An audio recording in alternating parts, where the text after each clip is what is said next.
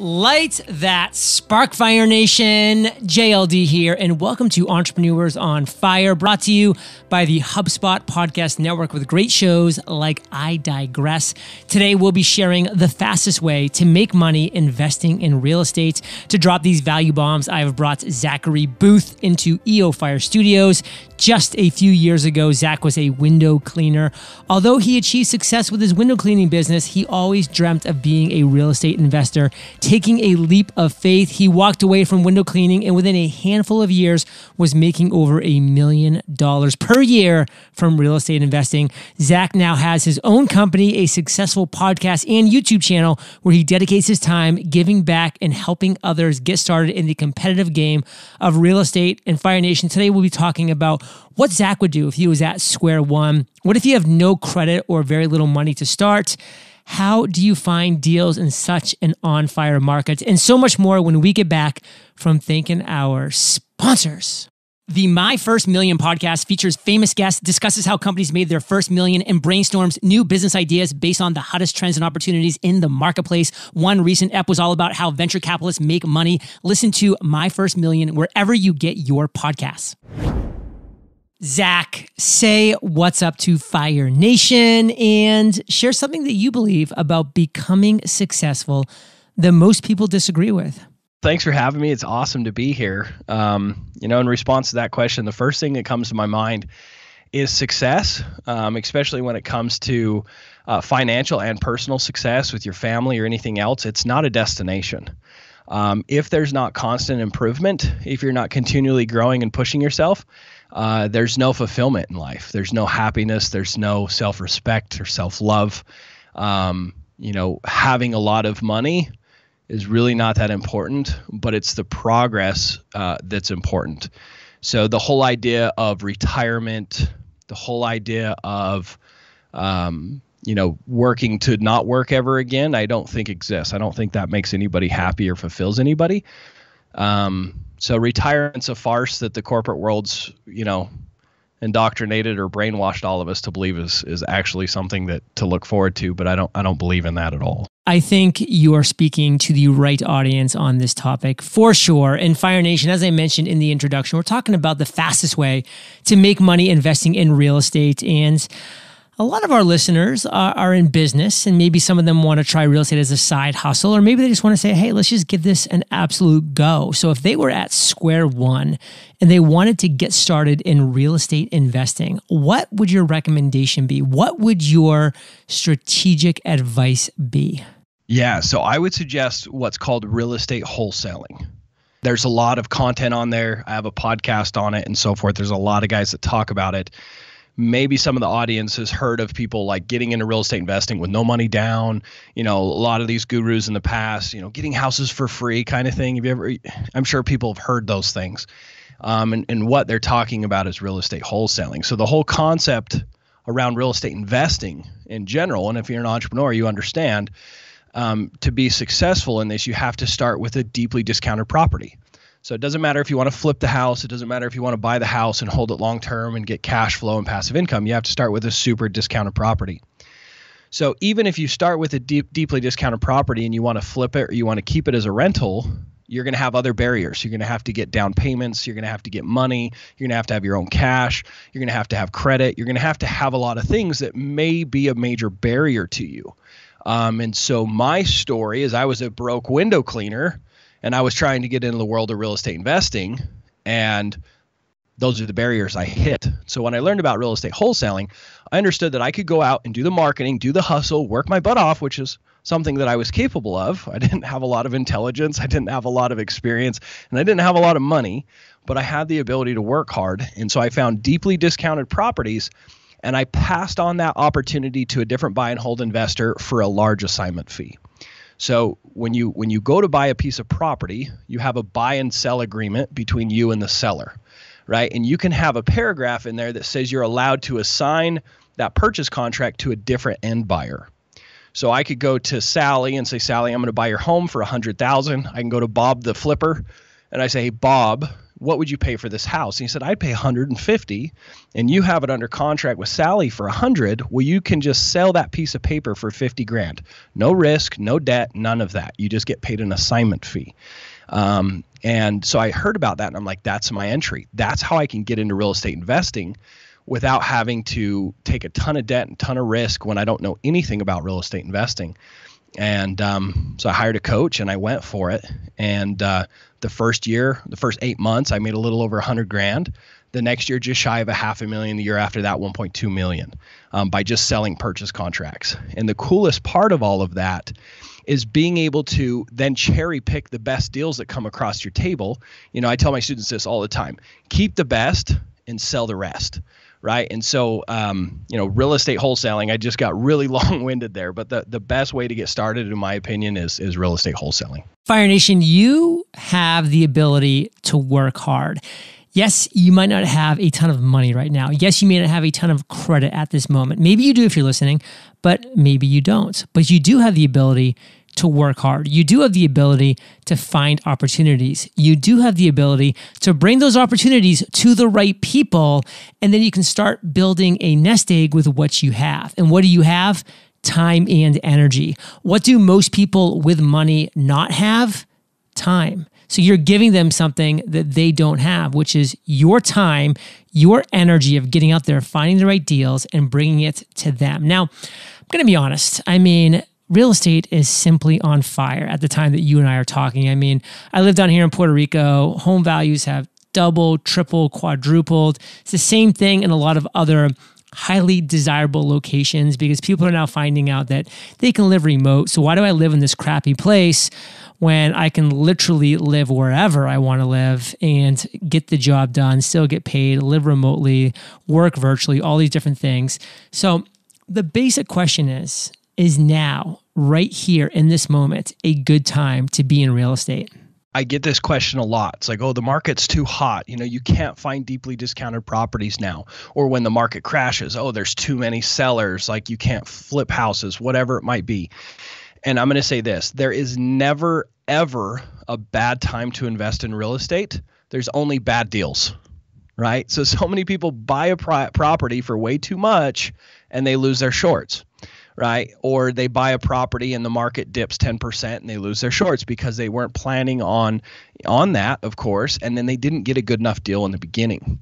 So, one of the big um, you know, limiting beliefs that people have is since the market's so hot and everyone understands that they can put their market on the MLS and sell it in a day and get, you know, way more than they ever paid for it 2 years ago, they don't think that people will sell it for a discount. Um, and to be clear, before I got into this, I was a major skeptic of this process. I was very skeptical that you could buy, buy properties 50, 40 cents on the dollar. I was a major, major skeptic myself. And I had something happen that changed my life. So I had a guy named um, uh, Stan, Stan Nielsen. I was washing his windows. You know, I was a window cleaner forever. I was washing his windows. I had learned about wholesaling. I had learned about all this cool stuff, listened to podcasts and YouTube channels, and like I dove into this stuff. And uh, I found out he's a real estate developer, very wealthy guy. I'm cleaning this giant mansion and I got talking to him. At the end of like an hour and a half conversation of hearing a story, I said, Man, if I could just get two rentals this year, that would be incredible. And this was back in 2016. And he said, Oh, that's very convenient. I got these two properties. I don't want to deal with them. I haven't collected rents in four months. I got these, you know, I got a couple multi million dollar developments that I'm dealing with. And that's all I want to work. I'm not, I'm not worried about these rentals. So if you'll take them, take them. I'll sell them to you for an awesome discount. He did. I made well over a $100,000 buying them and reselling them to the tenants and and I was like, holy crap, it's possible, right? You can make an absolute fortune. And so what you're looking for, everyone, the way you find deeply discounted properties, especially in a hot market like now, is you're trying to find people that want a pawn shop for their house, right? People go to a pawn shop for the convenience factor. They know they could get more if they sold it on eBay or Craigslist and went through the hassles or Facebook Marketplace or whatever else, right? There are people that understand they can get more money for their house if they list it with an agent. Your goal is to find people that are not down out on, on their luck. You're not taking advantage people. You're very clear. You could make more money, Mr. Seller, Mrs. Seller, if you just fix it up and listed it. I can buy it now. Like, what are you wanting to do? So the people that will trade convenience for price are usually wealthy real estate uh, investors that are done with their properties. They're tired landlords. They don't want to deal with them anymore, right? They're people that inherited mom's house and she was a hoarder and it's a mess and they their sibling situation's a mess and they just want to be done. There's people that um, you know went through a divorce, people that um, you know have have a really bad house or just don't like working with real estate agents. They just don't care. They want to be done quickly you know, um, so I, I got long winded again, but you know, the whole concept behind this is finding people that want speed and convenience over price, finding people that want a pawn shop for a house. Because if you can do that, it doesn't matter what the market's doing. If you're buying properties at 40, 50 cents on the dollar and the market crashes 10%, doesn't matter no, you're you're going to be just fine. The problem is people get too hungry and too greedy and spend too much money. Fire Nation, so much gold here, and I think it's really good to go back to where we started here, which is there's really never a bad time to be in real estate. There are only bad deals. So think about that. No matter what the timing is, hey, it's all about is it a great deal? Is it a good deal? Is it an okay deal or is it a bad deal? Like you need to be evaluating at all times. And we have some really important things for you to know, Fire Nation, when we get back from thanking our sponsors. The new year is here, and my guess is that you have big goals set for you and your sales team over the coming months. From new projects to bringing in more leads, a new year can often feel like a totally new start. But let's not forget the most important part arming your team with the best tools so they can focus on giving your customers the best experience possible. And this starts with getting ahead of the learning curve so that new challenges turn into new ways to grow. With new features dedicated to helping your sales team improve your customer experience, HubSpot is on a mission to help millions of companies grow better better, starting with yours. Conversion intelligence tools helps your teams get real time insight into calls with automatic recording, transcription, and call analysis. With more visibility into customer conversions, coaching and customer feedback becomes that much easier. Plus, easy share meeting links let customers see availability and allow them to book meetings with you, all from the HubSpot platform, which cuts out the endless cycle of scheduling emails. Learn more about how you can transform your customer experience with a HubSpot CRM platform at HubSpot.com com. Zach, we are back and you were able to get your start because you had the right coach. Talk about the importance of finding the right mentor. Oh man, it's everything. So, yes, I coach. And what I'm about to say, some people might say, oh, you're just saying this because you're trying to recruit people to your program. And I'm going to say this if you think that's why I'm sharing this, go find a different coach. Do not even look into my coaching program, right? Tom Krol was my coach. He completely changed my life. Right. He's he took me from a broke window cleaner to making over a million a year. Like I will always be forever grateful for this man. Um, he doesn't coach anymore. He sold out of his coaching business, or I'd say go go hire him. Right.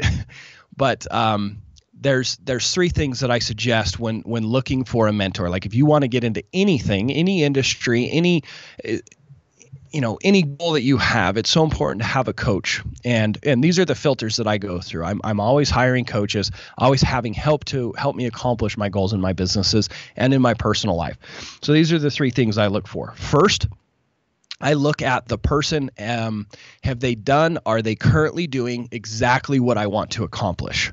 Right. We always want to take advice from people that are done and doing what we're wanting to do, right? Because they have a perspective that others don't. So that's the first filter. The second filter are is have they been able to and have they consistently found the success for others that you're looking for?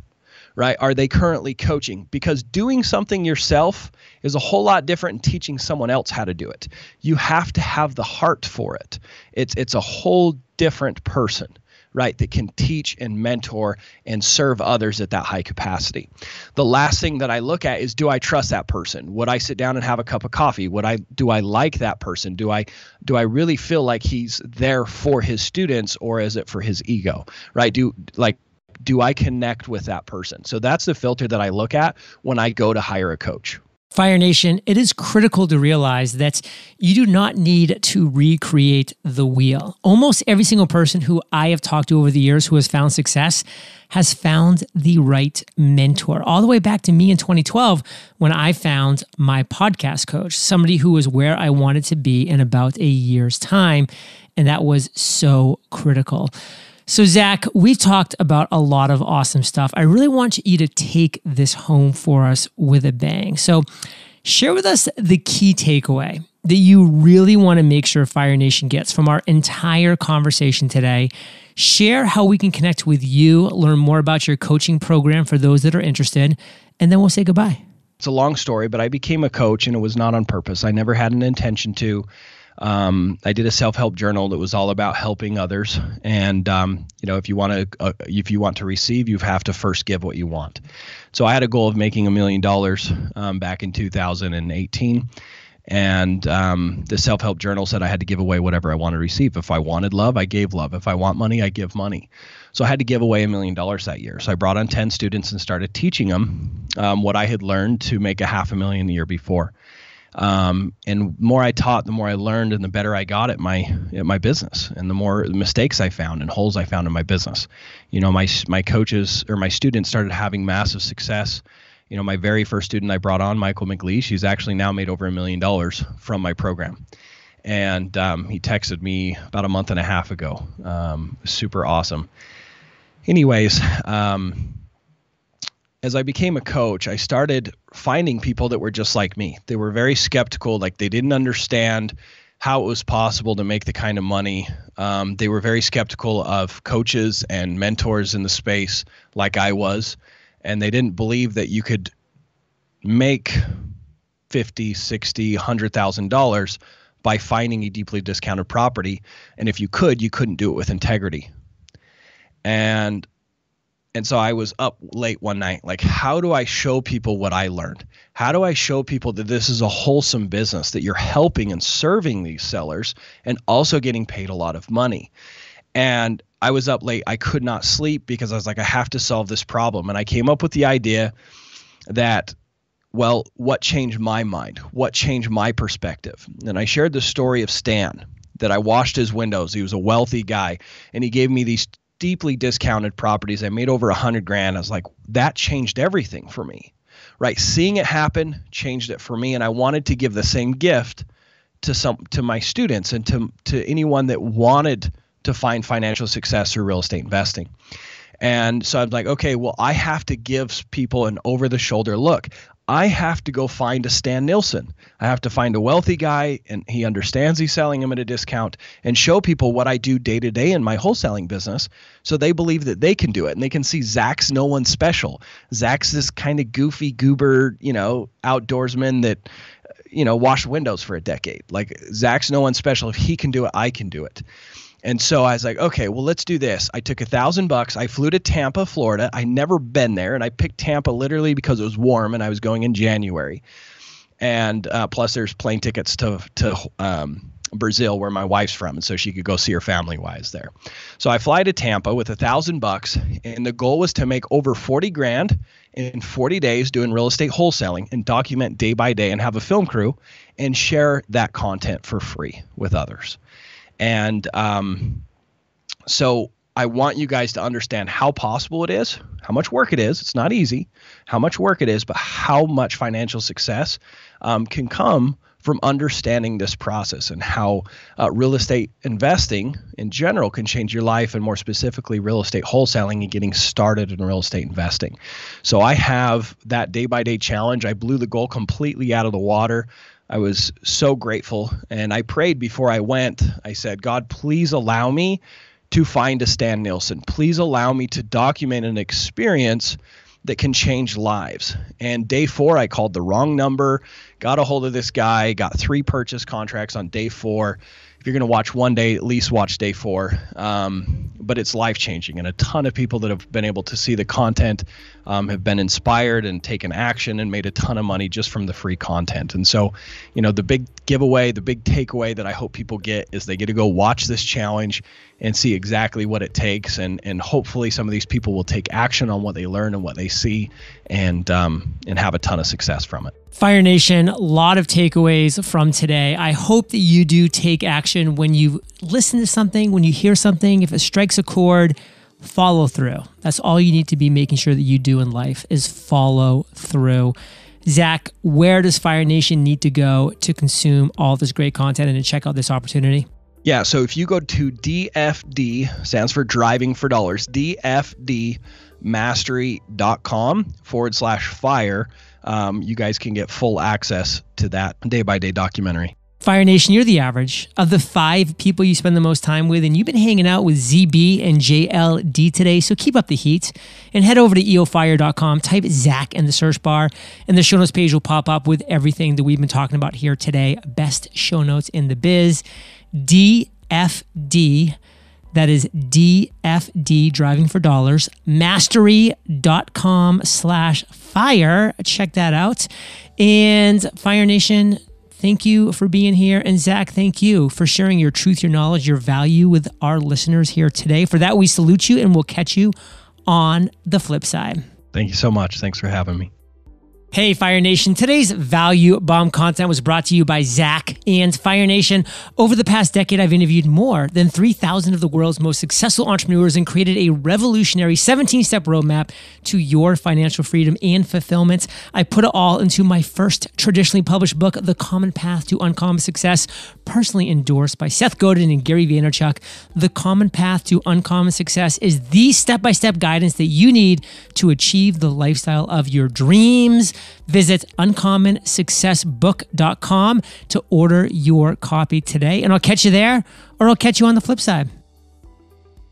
The My First Million podcast features famous guests, discusses how companies made their first million, and brainstorms new business ideas based on the hottest trends and opportunities in the marketplace. One recent ep was all about how venture capitalists make money. Listen to My First Million wherever you get your podcasts.